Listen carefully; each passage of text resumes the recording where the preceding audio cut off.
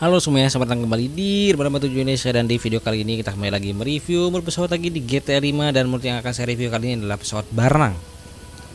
Setelah kemarin yang saya review itu yang barang itu 777200 ya. Nah, ini adalah pesawat yang lebih kecilnya lagi. Inilah Boeing 737-800F. Ini nih. Sebenarnya sih kodenya BCF ya. Tapi kan kalau misalnya kalian e, penonton yang rap story kan kalian akan tahu ya versi BCF di 747 itu kayak apa. Tapi di sini apa yang jadi bedanya antara yang versi F biasa dan BCF ya? Nggak tuh deh, nggak paham. Jadi dia Boeing 747-800F. E, sebenarnya yang 747 versi biasa udah pernah di review juga. Kalau misalnya kalian e, mau lihat reviewnya, kalian cari aja di playlist lah ya. Atau nanti saya tulis e, ini ya, cantumin card di atas deh. Kalau saya ingat, kalau saya ingat. Kalau nggak ya udah kalian kalian ini aja nyelam aja lah ke playlist ya oke sekarang kita masuk aja. Ini kayaknya emang reviewnya biasa aja. Pesawatnya 737 lah ya. 737 NG lah seperti ini. Tapi ini agak nunduk ya pesawatnya oke lampu seperti ini. Ini cuaca kebetulan lagi hujan. Terus livery juga ini livery sebenarnya cuma dua. Itu yang X sama satu lagi ini. Royal Air Force. Dan ini menurut saya gak menarik kalau saya pakai ini. Jadi ini aja terus kalau buka-bukaan di sini kalau lampu jangan ngarep lah ya lampu jangan ngarep banyak. Oke itu kebuka besar banget. Oke lah kebuka semua nih pintunya. Gila kebuka semua.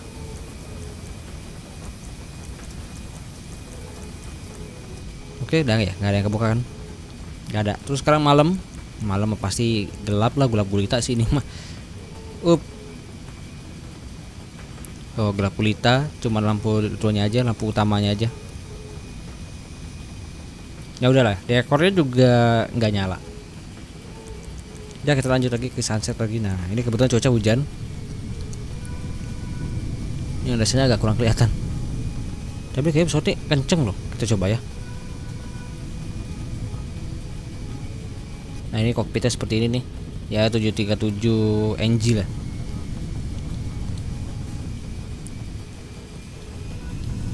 wow wow wow wow wow wow ya kenceng deh kenceng banget. Tapi kendalinya agak susah nih. Nah kalau ini kita bisa di sandy source nih.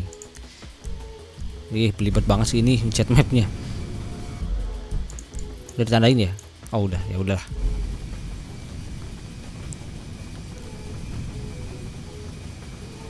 Up, tuh beloknya susah lagi. Ih, Tuh.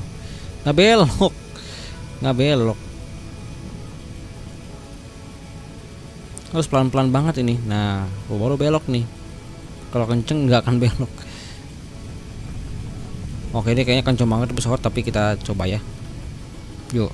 Bismillahirrahmanirrahim. Yuk. Uh. Gila lihat dong speednya. Oh ini kenceng banget Oke. Wow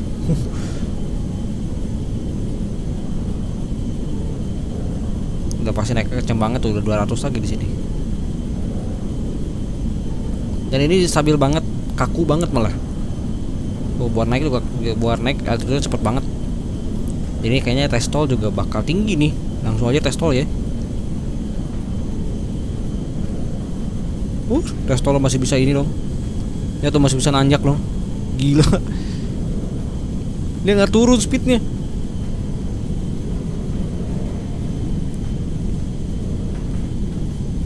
Nanjak terus. Wah gila. Ini mah harus saya jatuhin diri. Dia nggak dia nggak turun-turun ya. Nanjak roket ini. Kita mau ke langit. Oke, turun sendiri. Dah, mati.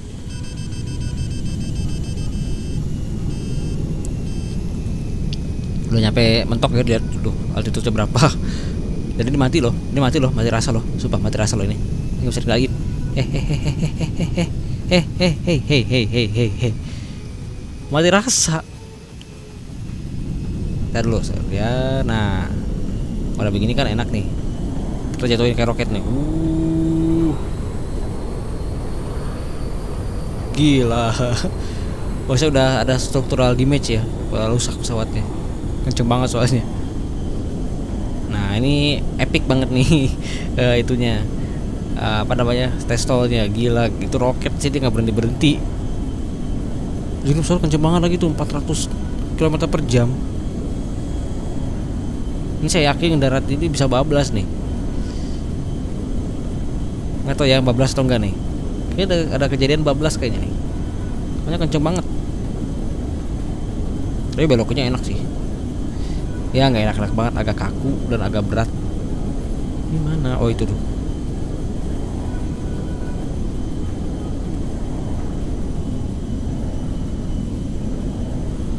kita coba nih apakah akan aman? Yuk ada pesawat lagi tuh. Untung aja. Oke. Oke ini ban depan belum napak nah. Berhenti berhenti berhenti berhenti dong berhenti dong berhenti dong. Ya bablas bener kan? Bablas kayaknya. Oh mau mau bablas. Bablas. Bablas. Uh hampir aja. Terus juga itu pesawat tuh yang di belakang aman. Gak gak ketabrak yeah